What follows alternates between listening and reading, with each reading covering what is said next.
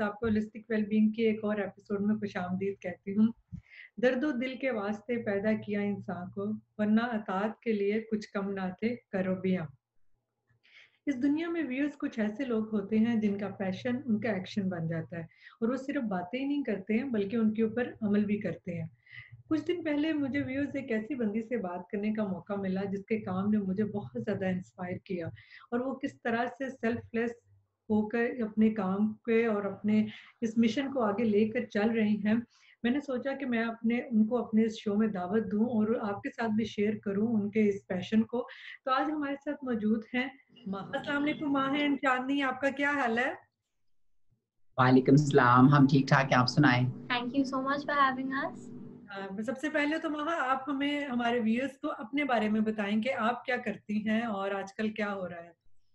Um, uh, मैं founder हूँ मानुष की which is an organisation working for trans equality currently मैं एक लॉ स्टूडेंट हूँ इन द यूके और मैं लॉ की पढ़ाई कर रही हूँ मतलब अभी एज अ माशाल्लाह माँ, आप इतनी यंग एज में आपको किस तरह से आपका पैशन डेवलप हुआ इन ट्रांसजेंडर कम्युनिटी के साथ काम करने का और आपने सिर्फ़ ये नहीं है, क्योंकि हमारी सोसाइटी में ये बहुत ज़्यादा होता है कि लोगों के दिलों में एहसास तो बहुत ज़्यादा होता है, लेकिन वो प्रैक्टिकली कुछ करना, वो बहुत कम पाया जाता है।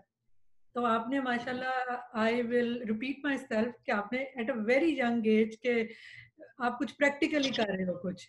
तो आप अपनी नॉन प्रॉफिट जो आपकी ऑर्गेनाइजेशन है महनूश उसके बारे में हमारे व्यूअर्स को कुछ बताएँ कि वो किस तरह से काम करती है और आप किस तरह से इनकॉर्पोरेट करते हो आ, मतलब जैसे जो जैसे ट्रांसजेंडर कम्युनिटी को और लोगों की सोच को किस तरह से आप चेंज कर रहे हो? जी बिल्कुल। At a very young age ये हमें काफ़ी लोग कहते हैं कि I started this at a very young age लेकिन from my O levels to my A levels हमारा जो स्कूल था हमारा बेसिक स्कूल का माइंडसेट ये था कि सोशल um, वर्क हमारी सोसाइटी में एक बहुत इंटेग्रल चीज़ होनी चाहिए। um, ख्वाजा से हट के यहाँ पे कितने सारे बच्चे हैं जो सड़कों पे भी मांग रहे हैं। यहाँ पे बेगिंग uh, भी इतना बड़ा एक माफिया बन चुका है। तो सोशल वर्क हमारे स्कूल का एक इम्पेरेटिव um, क्या कहते हैं रोल था कि we have to work socially and I think upbringing भी इसमें आपकी बहुत एक uh, बहुत वाइटल फैक्टर होता है जो प्ले करता है।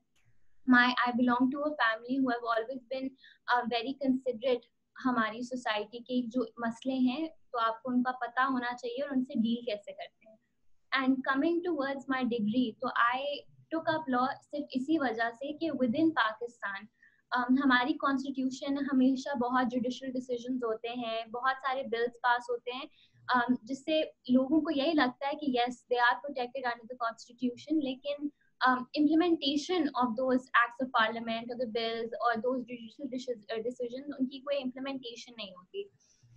तो I took up law as a career because I want to work and i want to eradicate all of these miscarriages of uh, justice within pakistan and so that is how हमने मानुष भी शुरू की ताकि हम trans equality के लिए लड़ सकें क्योंकि ख्वाजा सराओं को बहुत सारे बच्चे at a very young age उनको लगता है कि ख्वाजा सरा या खुसरा जो एक टर्म है वो एक इंसल्ट के तौर पे यूज़ की जाती है। um, तो हमारे माइंडसेट्स ये हैं कि हमने इनको पहले से शुरू से ही पहले दिन से इनको सोसाइटी से बिल्कुल आइसोलेट किया हुआ है। um, इसीलिए ट्रांसफोबिया एक चीज़ है पाकिस्तान में जो बहुत इम्पोर्टेंट चीज़ है बहुत हाईलाइट होनी चाहिए। तो जो ट्रांसफोबिया है ये बहुत ही यंग एज से शुरू होता है। ये आपकी फैमिली से इनकलकेट होता है आपके माइंडसेट्स में। फिर जब आप सोसाइटी में लोगों को देखते हो आप जब रोडों पे जाते हो तो आप ख्वाजा से को भीख मांगते हुए देखते हो। जैसे जैसे आप बड़े होते हो तो आपको यही चीज़ें बताई जाती हैं कि अच्छा और पाकिस्तान में ये भी है कि ख्वाजा सरा जो है जो सड़कों पे भीख मांग रहे हैं वो ज़्यादा तैयार होते हैं। तो लोग कभी कभी लोग उनको देख के घबरा जाते हैं। लेकिन आई थिंक कि लोगों को ये समझना चाहिए कि हमने उनको एक तो सोसाइटी से आइसोलेट कर दिया है, उनके माँ बाप ने उनको आइसोलेट कर दिया है, शादी वो नहीं कर सकते दे के नॉट हैव किड्स पाकिस्तान में अडॉप्ट वो नहीं कर सकते। तो अगर एक चीज़ है कि तैयार होना उनके लिए उनको दिली खुशी देता है then why not I think हमें ज़्यादा अंडरस्टैंडिंग होना चाहिए इस बात का। आप किस तरह से उनकी ट्रेनिंग मतलब करते हो? वोकेशनल ट्रेनिंग जिसे आप कह सकते हो कि आपकी नॉन प्रॉफिट ऑर्गेनाइजेशन किस तरह से काम किस तरह से करती है? अभी तो जैसे आपने बात की ना कि कितना ज़रूरी है इन लोगों को भी एंगेज करना अपनी सोसाइटी में क्योंकि अब मैं एक चीज़ ज़रूर आपकी मेंशन करूँगी कि transphobia it's a very good term to explain people fear in our society क्योंकि लोग बहुत ज़्यादा इस चीज़ को समझते हैं कि भी और आप इनके पास ले जाओ ये वो लेकिन ये मेरा व्यूज़ पर्सनल एक्सपीरियंस है कि जब मैंने इन लोगों से बात की तो आई गॉट टू नो कि माशाल्लाह दे आर वेरी नाइस इतने अच्छे हैं और इतने मतलब खुश होते हैं कि उनके उनके बारे में सुना जाए उनके बारे में बोला जाए। तो consider them as a human being human being तो बस यही मसला है कि यहाँ पर इनको बेसिक ह्यूमन राइट्स ही अवेलेबल नहीं है क्योंकि हम as a society I think humanly नहीं देखते इन लोगों को। I think the basic problem हमारे अंदर है instead of being in them I think we are lacking something as humans and रही बात uh, इसकी शुरू होने की तो और देम बीइंग कंसिडरेट ये सब शुरू हुआ था एक ख्वाजा से जिनका नाम था सना। uh, और my mother and I at the time were in a car and we were extremely upset उस दिन कि uh, कुछ कुछ पर्सनल रीजंस की वजह से।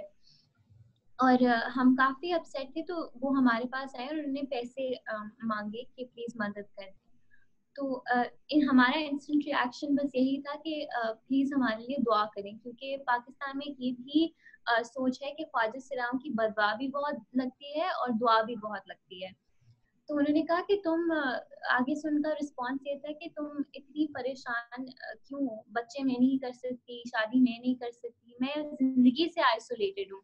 तो अल्लाह तुम्हारे लिए बेहतर करे, लेकिन कभी मेरे लिए भी सोचो। And I think that itself was a huge reality check for us कि हमने खुद भी, चाहे हम उनके कंसिडरेट हैं, हम उनके मसले समझते हैं, लेकिन हमने अपने दिमाग में भी उनको इसी तरह आइसोलेट किया हुआ कि अच्छा चलो ये भीख मांगने आई है प्लीज़ हमारे लिए दुआई कर दें।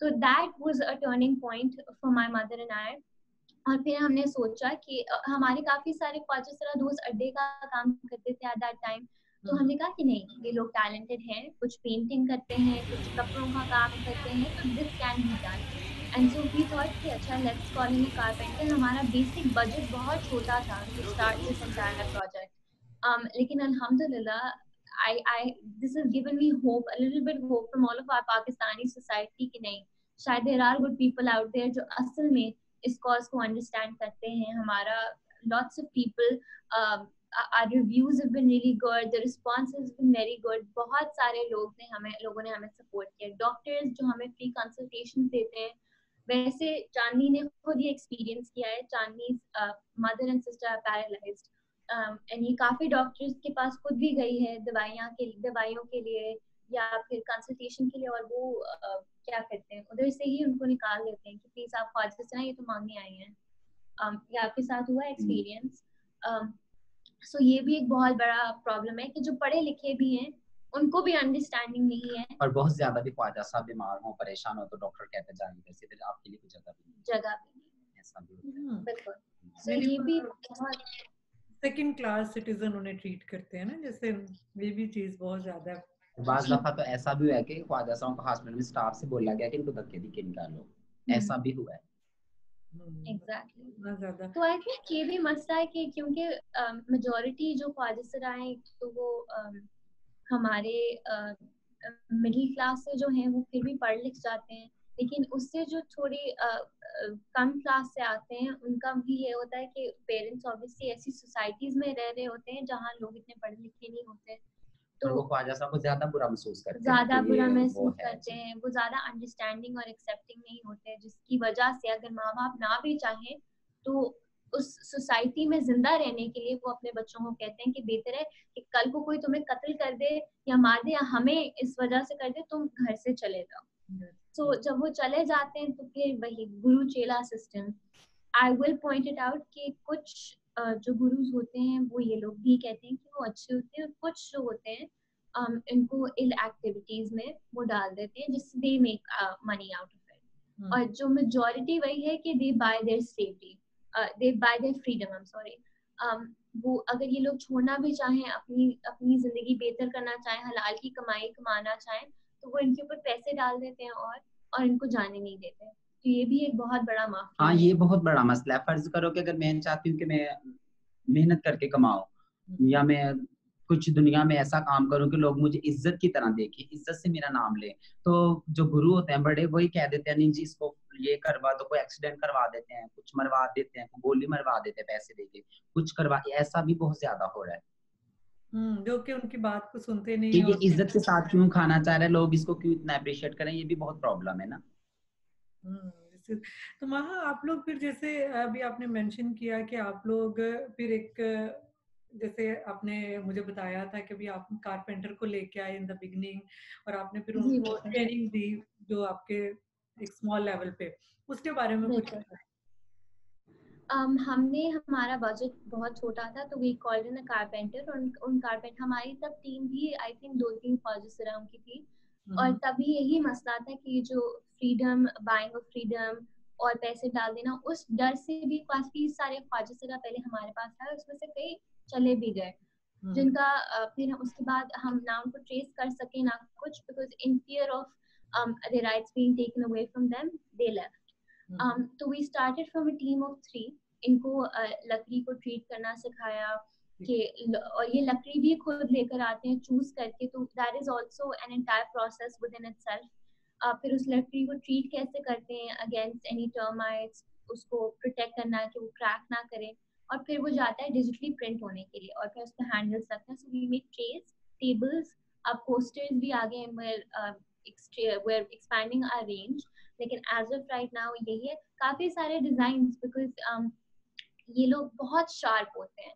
And everyone is well aware of how to use Google how to use YouTube ये हम्म। खुद भी इतने आइडियाज़ लेकर आते हैं कि आजकल रेजन आर्ट है उसके पोस्टर्स बने तो ये लोग ले आएँगे कि ओ हम ये भी कर सकते हैं तो आई थिंक अगर इनसे भी इतना हम motivation is so much of motivation is reciprocated कि we also are a lot more motivated कि नहीं इनकी मदद करनी ज़रूरी है और ये माइंडसेट्स बदलने ज़रूरी है। विद इन पाकिस्तान बिल्कुल चांदनी आप बताएँ ना थोड़ा सा आप भी साथ बैठी हैं आप बताएँ कि आप किस तरह से मतलब आप हाउ डू यू फील आप क्या फील करती हैं कि भी आप इस ट्रेनिंग का हिस्सा हैं आप और भी लोगों को इनकरेज करती हैं कि आप क्या करते हो आपका क्या रोल है यहाँ पे?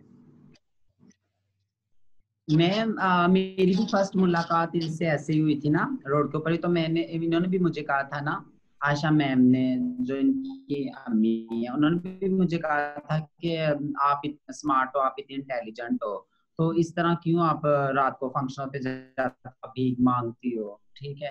तो हम लोगों को कोई काम देता नहीं है। अगर जाए भी ना कहीं भी तो कहते हैं, जी नहीं नहीं, आप जाओ, ख्वाजा सराओ ख्वाजा साहब को पाकिस्तान में ऐसा समझा जाता है जैसे कोई जानवर है, या कोई काम नहीं कर सकते, ये नहीं हो सकता, वो नहीं हो सकता तो कहते हैं, आप हिम्मत नहीं हारो तो आप मुझे मिलो, मेरे घर आके मिलो। तो उससे पहले जो ख्वाजा साहब का इन्होंने ज़िक्र किया था, वो थे। वो तो चले गए थे डर की वजह से, गुरु की वजह से। तो मैंने हिम्मत नहीं हारी थी। मैंने कहा, मेरा को गुरु के साथ, कोई सिस्टम नहीं, मैं गुरु के साथ रहती नहीं, मैं अपनी वालदा के साथ रहती हूँ, अपनी फैमिली में रहती हूँ। तो मैं कोई भी काम करती हूँ ना तो मेरा तो कोई भी इशू बनता, किसी गुरु के साथ, ये क्या कर रहे क्या नहीं। तो फिर मैंने इस काम को, वो कारीगर जो आए थे हमारे, वो जो साथ थे, उन्होंने हमें सिखाया था ये काम।